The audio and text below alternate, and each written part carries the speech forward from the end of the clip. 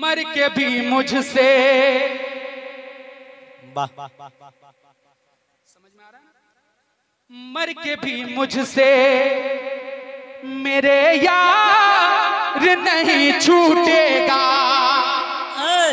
मर के भी मुझसे। मेरे यार नहीं छूटेगा।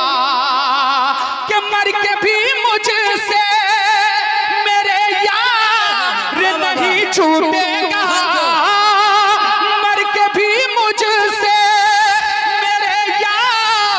नहीं छूटेगा। हाथ से दामने,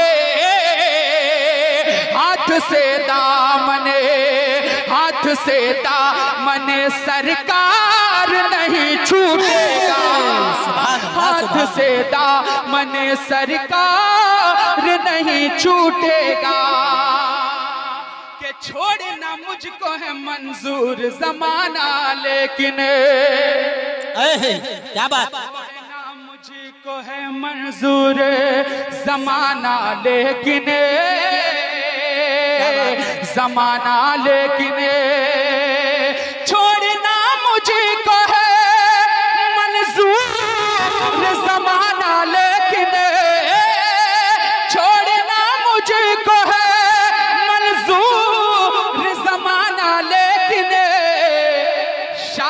कौनैन का शाह कौनैन का हाँ शाह कौनैन का दरबार नहीं छूटेगा। वाह वाह वाह वाह क्या बात है। दरबार नहीं छूटेगा नहीं छूटेगा। कोई भी हाजी हज करने या उमरा करने के लिए सरकार के रोज़े की जियारत करने के लिए जाता है। क्या बात। नौ दस दिन का वक्त होता है जब रिटर्निंग होती है दिल नहीं करता है कि मदीना शरीफ छोड़ कर आए। एक शेर पढ़ता हूँ उसकी कैफियत क्या होती है जो दीवाने जाते हैं। मैं शेर आप तक हाजिर कर रहा हूँ बस सुन ले जरा कह दे सुबहान अल्लाह शाह कौनैन का दरबार नहीं छूटेगा। किसी दीवार में रह जाऊँगा पत्थर की तरह किसी? दीवार में दीवार में दीवार में दीवार में दीवार में दीवार में दीवार में दीवार में किसी दीवार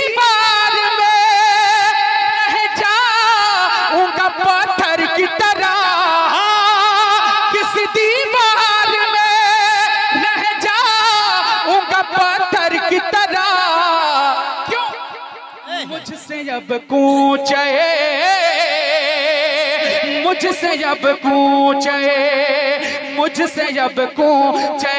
सरकार नहीं छूटेगा। मुझसे अब कूचे।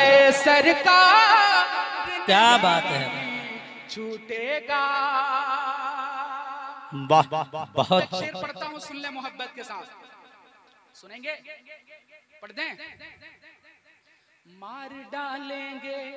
जो हाथ आया रजा का खंजरे। मार डालेंगे। जो हाथ आया रजा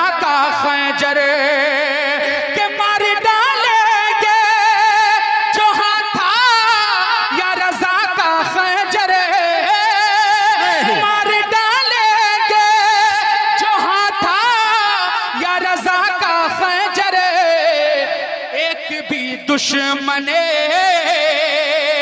एक भी दुश्मने, एक भी दुश्मने सरकार नहीं छूटेगा। एक भी दुश्मने सरकार नहीं छूटेगा। बहुत क्या बात। सुन ले मोहब्बत के साथ आखिरी शेर पेश कर रहा हूँ। मुझे मालूम नहीं है कि आपकी समातें कैसी हैं लेकिन एक भाई ने मुझे फरमाइश किया था कि वो कलाम पढ़िएगा हुजूर बेदम साहब आरसी का। तो मैं पढ़ूँगा हज़रत की तकरीर होगी उसके बाद पढ़ दूँगा। मैं शेर आप तक हाजिर कर रहा हूँ बस आखिरी शेर आप तक कह दे सुबहान अल्लाह सुभान अल्लाह हाथ से दामने सरकार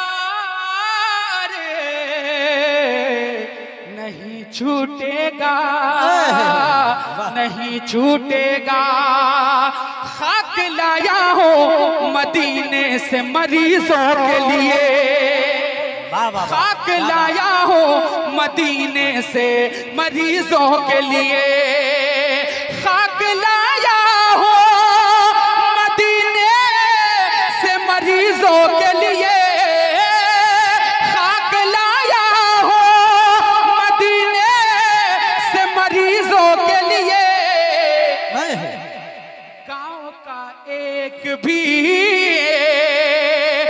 गाँव का एक भी हाँ गाँव का एक भी बीमार नहीं छूटेगा गाँव का एक भी नारे रिसालत सैयदुल अंबिया कॉन्फ्रेंस पिपरा की सरजमी। शायर इस्लाम जनाब अरशद इकबाल। ए, गाँव का एक भी बीमार नहीं छूटेगा मुझसे अब पूछे सरकार नहीं छूटेगा।